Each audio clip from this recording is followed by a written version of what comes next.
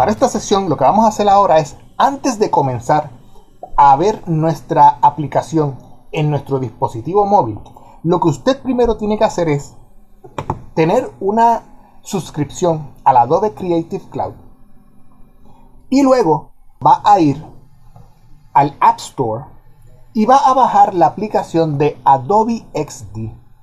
Con esta aplicación de Adobe XD es de la forma en que usted puede conectar su iPhone a la computadora y a través del botoncito de preview en el teléfono es que usted puede ver y manejar la aplicación utilizando su teléfono para hacer las pruebas necesarias.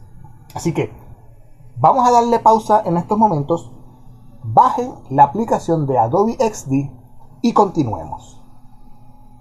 Una vez nosotros hayamos bajado la aplicación de Adobe XD, como podemos ver aquí en nuestro celular, simplemente abrimos la aplicación Adobe XD en la computadora y si ustedes se fijan en la parte superior derecha van a ver el iconito de una unidad móvil, en este caso mi teléfono, por eso es que dice Jorge's iPhone.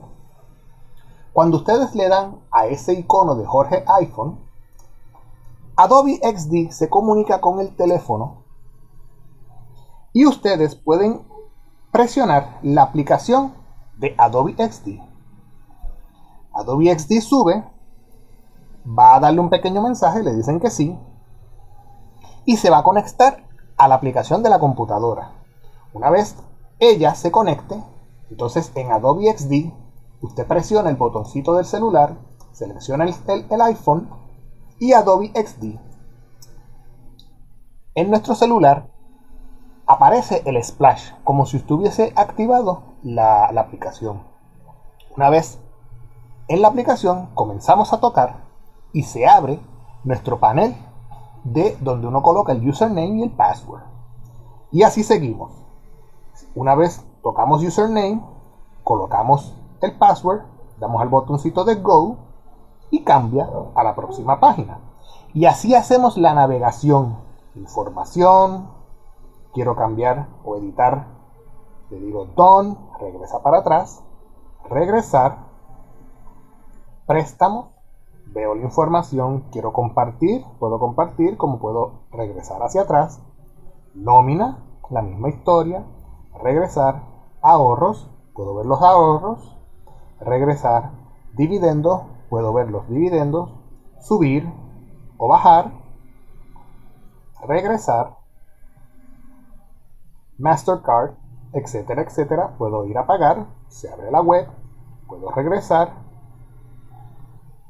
puedo salir, todo, todo lo que usted programó en la aplicación Adobe XD lo puede probar aquí en su teléfono ok, search, hago el search, brinca, etcétera, etcétera, compartir, compartir, etcétera, etcétera, ir a la web, etcétera, etcétera. En otras palabras,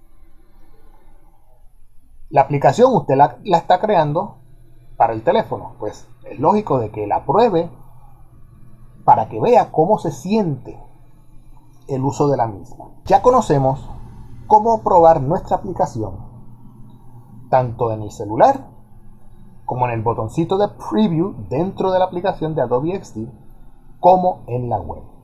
Así que ahora lo que vamos a hacer es cómo yo le entrego este diseño al developer para que me cree la aplicación que estamos haciendo. Continuamos.